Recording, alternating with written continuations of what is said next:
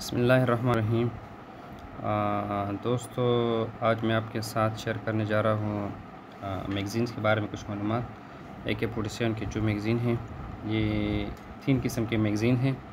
ये रशियन है ये चाइना मेड हैं और ये ये भी रशियन मेड हैं।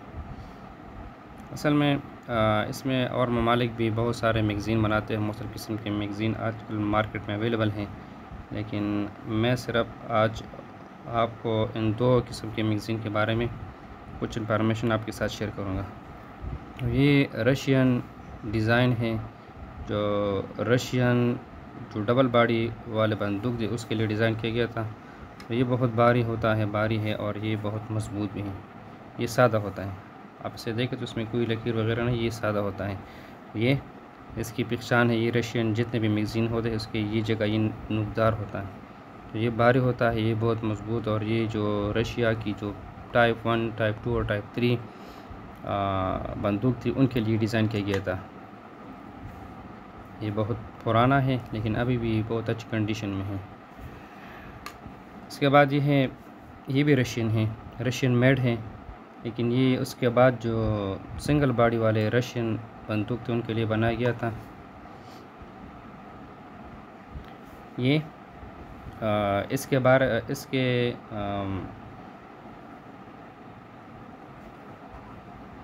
ये इसकी बनस्बत थोड़ा लाइट वेट होता है लेकिन ये भी काफ़ी मज़बूत है। ये बात नहीं है कि ये मज़बूत नहीं है ये भी ओरिजिनल रशियन है।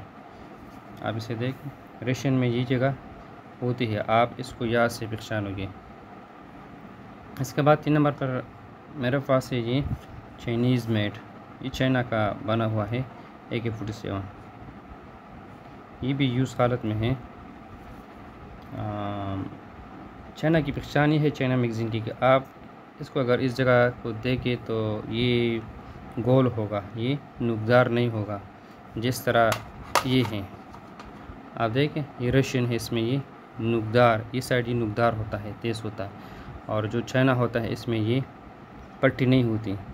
ये थोड़ा सा बस गोल सा होता है, ज़्यादा नुकदार नहीं होता। ये चाइना मैगज़ीन की पहचान है। अगर इसके प्राइस की बात करें तो आजकल मैगज़ीन तो भी महँगे हुए हैं।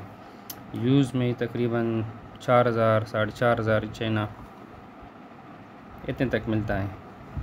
और जो रशियन है ये ये भी तकरीबन साढ़े चार हज़ार से पाँच हज़ार तक मिलता है, लेकिन ये एरिया पर डिपेंड करता है।